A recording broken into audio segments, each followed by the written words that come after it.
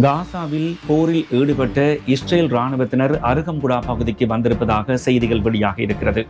அதே சமயம் அருகம்புடா பகுதியில் தாங்கள் பலத்த பாதுகாப்பை மேற்கொண்டிருப்பதாக இலங்கை ராணுவம் தெரிவித்திருக்கிறது.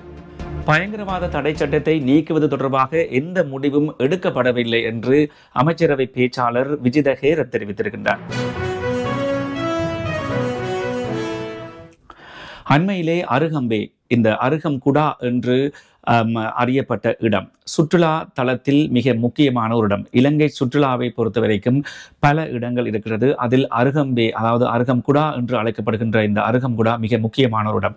மற்றைய இடங்கள் சுற்றுலா தலங்களை பொறுத்த வரைக்கும் வருகின்ற சுற்றுலா பயணிகள் ஒரு நாள் அல்லது இரு நாள் தங்கி நின்று அந்த இடங்களை பார்வையிட்டு செல்வார்கள். ஆனால் அருகம்பே பகுதியை பொறுத்த வரைக்கும் வாரக்கணக்கில் அங்கே தங்கி நின்று தங்களுடைய முழு சுற்றுலாவையும் அந்த இடத்திலே அஹ், கழித்துவிட்டு செல்வது வழமையான ஒரு செயல். அதிகமாக மற்ற நாட்டவர்களை விட அதிகமாக இஸ்ரேலியர்கள் தான் வந்து செல்கின்றார்கள். இது அனைவரும் அறிந்த ஒரு விடயம்.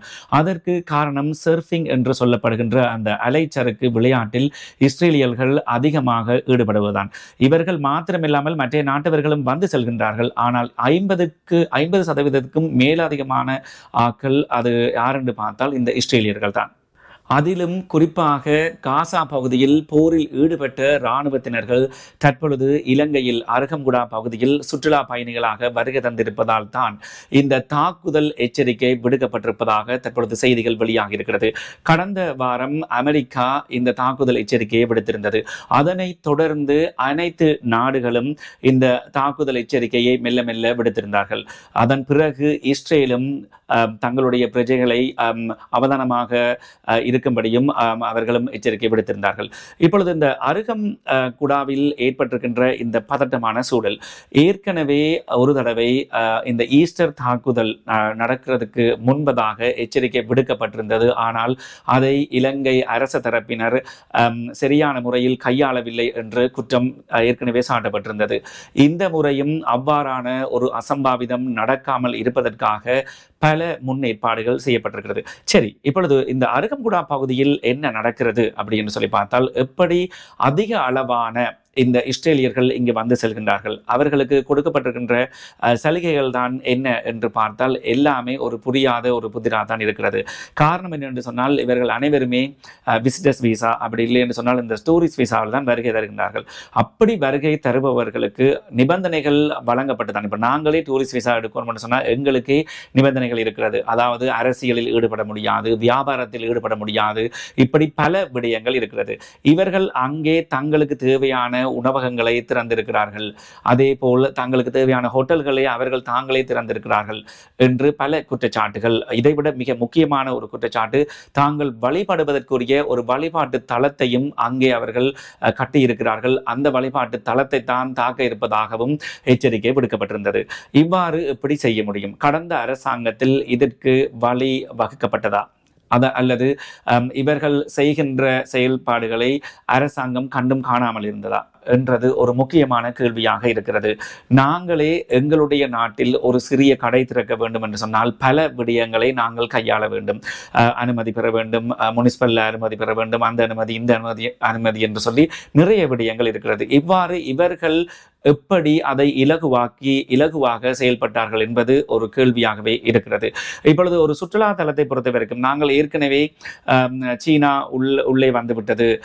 அனைத்துமே சீனமயமாக்கப்பட்டு கொண்டிருக்கிறது. சீன பொருட்கள் இங்கே விற்பனையாகிறது சீன மொழியிலே எழுத்துகள் இருக்கிறது என்றெல்லாம் நாங்கள் ஏற்கனவே அறிந்திருப்போம். நாங்கள் அதைத்தான் நாங்களும் ஃபோக்கஸ் பண்ணி கொண்டிருந்த நாங்கள். ஆனால் இப்படி ஒரு விடயம் நடப்ப நடக்கிறது.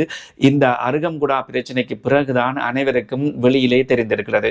இப்பொழுது ஒரு சுற்றுலா தலத்தை பொறுத்த வரைக்கும் இப்பொழுது திருவண்ணாமலை பகுதியில் பார்த்தீர்கள் என்று சொன்னால் சில நிறுவனங்கள் கடைகள் அதாவது ரெஸ்டாரண்ட்கள் எப்படி என்று சொன்னால் உணவகங்களில் பிரெஞ்சு மொழியிலே கூட அவர்கள் அந்த விலை பட்டியலை போட்டிருப்பார்கள். காரணம் என்னென்னு சொன்னால் வருகின்ற அஹ், பயணிகளுக்கு சுற்றுலா பயணிகளுக்கு இலகுவாக இருக்கிறதுக்காக சில சில மொழிகளை நாங்கள் போடுகின்ற பொழுதுதான் அவர்களை கவர்ந்து இழுக்க முடியும். ஆனால் இங்கே அந்த மொழிகளையும் தாண்டி எவ்வாறு அவர்கள் வழிபாட்டு தலங்களை நிறுவினார்கள் என்பது தளத்தை நிறுவினார்கள் என்பதுதான் ஒரு முக்கியமான ஒரு கேள்வி. அமெரிக்காவினுடைய இந்த எச்சரிக்கையை ஒரு சில ஊடகங்கள் அதாவது இலங்கைக்கு அதிக அளவான சுற்றுலா பயணிகள் செல்கின்றார்கள். அதை தடுப்பதற்காகத்தான் அமெரிக்கா இவ்வாறான ஒரு செயலை செய்திருக்கிறது என்று சொல்லி அஹ், அந்த ஊடகங்கள் தெரிவித்திருக்கிறது. அதனுடைய உண்மைத்தன்மையும் தெரியவில்லை. இலங்கை சுற்றுலாத்துறையை பொறுத்த வரைக்கும் அதாவது ஏற்றுமதி வருமானங்கள் அவ்வளவு பெரிதாக இல்லாத ஒரு நாடு இலங்கை. முழுக்க முழுக்க சுற்றுலாவைத்தான் நம்பி இருக்கிற நாடு. ஏற்கனவே ஈஸ்டர் தாக்குதலால் சுற்றுலா பயணிகளுடைய வருகையை இழந்திருந்த ஒரு நாடு. தொடர்ந்து வந்த கொரோனா தொற்று காரணமாகவும் பொருளாதாரத்தில் வீழ்ச்சி அடைந்திருந்த ஒரு நாடு. இந்த நாடு இப்பொழுது மெல்ல மெல்லமாக மீண்டு வருகின்றது அப்படி என்று சொன்னால் இந்த சுற்றுலா தலங்கள் தான். வெளிநாட்டவர்கள் அதிக அளவாக இலங்கையை சுற்றுலா மையமாக்குவதற்கு காரணம் குறைந்த செலவிலே தங்களுடைய சுற்றுலாவை தங்களுடைய நாட்களை நீண்ட நாட்களாக மற்ற நாடுகளுக்கு சென்றால் இரண்டு மூன்று நாட்கள் தான் அவர்களுடைய இந்த பணம் விரயமாகும். ஆனால் இலங்கை என்று சொல்கின்ற பொழுது இன்னும் மேலதிகமாக பத்து பதினைந்து நாட்கள் கூட இதே பண செலவிலே அவர்கள் தங்களுடைய சுற்றுலாவை கழிக்க முடியும் என்றபடியாத்தான் வெளிநாட்டவர்கள் அதிகமாக இலங்கையை தெரிவு செய்திருக்கின்றார்கள். அப்படியப்பட்ட இலங்கைக்கு அதாவது சுற்றுலா துறையை பாதிக்கிற அளவுக்கு ஒரு தாக்குதல் நடக்குமாக இருந்தால் அது அந்த இஸ்ரேலியர்களை மாத்திரமில்லாமல் மற்றவர்களும் பாதிக்கிற அளவுக்குத்தான். அதாவது வெளிநாட்டு சுற்றுலா பயணிகள் வருவதை கொஞ்சம் குறைத்துக் கொள்வார்கள். இந்த தாக்குதலில் எம்மவர்களும் பாதிக்கப்படுவார்கள். இதனால் தான் இப்பொழுது அரசாங்கம் உடனடியாக இஸ்ரேலியர்களை அந்த இடத்திலிருந்து வெளியேறுமாறும் முடிந்தால் நாட்டை விட்டு வெளியேறுமாறும் தற்பொழுது தெரிவித்திருக்கிறது. சரி இப்பொழுது இந்த பயங்கர பயங்கரவாத தடை சட்டத்துக்கும் இதற்கும் தொடர்பு இருக்கிறதா அப்படின்னு சொல்லி நாங்கள் நிறைவாக பார்த்தால் நிச்சயமாக இல்லை. பயங்கரவாத தடை சட்டத்தை நீக்குவதாக இருந்தாலும் சரி அதில் ஏதாவது மாற்றங்கள் கொண்டு வருவதாக இருந்தாலும் சரி அது பாராளுமன்றத்திலே பொது வாக்கெடுப்பு மூலமாகத்தான் நடைமுறைக்கு கொண்டு வர முடியும். எழுந்தமானமாக பாரா அதாவது எழுந்தமானமாக நாங்கள் அஹ், தடை சட்டத்தை நீக்குகிறோம் என்று சொல்லி நீக்கிவிட முடியாது. இந்த பயங்கரவாத தடை சட்டத்தால் அதிகம் பாதிக்கப்பட்டது தமிழ் இளைஞர்கள் தான் பலர் வந்து உயிரை இழந்திருக்கின்றார்கள். பல பலர் வந்து காணாமல் ஆக்கப்பட்டிருக்கின்றார்கள் காணாமல் போயிருக்கின்றார்கள்.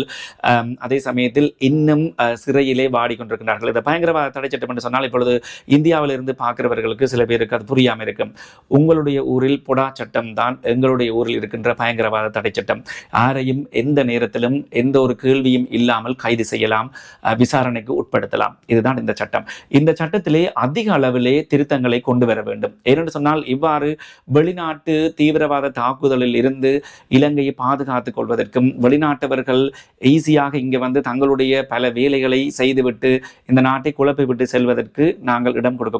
ஒன்று பயங்கரவாத தடை சட்டத்தை தடை செய்ய வேண்டும். அல்லது அதில் இருக்கின்ற எங்களை பாதிக்கின்ற சில விடயங்களை அஹ், இல்லாமல் செய்து திருத்தங்களை மேற்கொண்டு அரசாங்கம் அதை தொடர்ந்தும் அமலில் வைத்திருக்க வேண்டும். அப்பொழுதுதான் இது போன்ற தாக்குதலில் இருந்து நாங்கள் எங்களை பாதுகாத்துக் கொள்ள முடியும். அதே சமயத்தில் ஒரு சில செய்தி ஊடகங்கள் இது தேர்தல் காலத்தில் அனுர அரசாங்கத்தை எதிர்ப்பதற்காகத்தான் இந்த செயல் செயற்பட்டிருப்பதாகவும் பல ஊடகங்கள் இதனையும் தெரிவிக்கின்றன. அதாவது நாட்டில் அமைதியின்மை தாக்குதல் அச்சம் அஹ், என்று சொல்லி அதாவது தேர்தலை குழப்பி விடுகின்ற ஒரு செயலாக அமையலாம் என்றும் தெரிவிக்கப்பட்டிருக்கிறது. இப்பொழுது ஜனாதிபதியாக வருகின்ற ஒருவர் குறிக்கப்பட்ட மேலையத்தை நாடை பொறுத்த வரைக்கும் அஹ், தன்னுடைய ஒரு பங்காளியாக இருக்க வேண்டும். அப்படி அவர் இல்லாத பட்சத்தில் அந்த நாடுகள் அவருக்கு என்னென்ன குடைச்சல்களை கொடுக்கும் என்று கடந்த கால அரசாங்கத்தை பொறுத்த வரைக்கும் அரசியலை பொறுத்த வரைக்கும் நீங்கள் அனைவரும் அறிந்த ஒரு விஷயம்தான். சுற்றுலா பயணிகள் எமது நாட்டுக்கு தேவைதான். ஆனால் அந்த சுற்றுலா பயணிகள் மூலம் எமது நாட்டுக்கே பல பிரச்சனைகள் வெறுமாக இருந்தால் அந்த சுற்றுலா பயணிகளை சிறிது கட்டுப்படுத்துவது எமது நாட்டு அரசாங்கத்தினுடைய கடமையாகும்.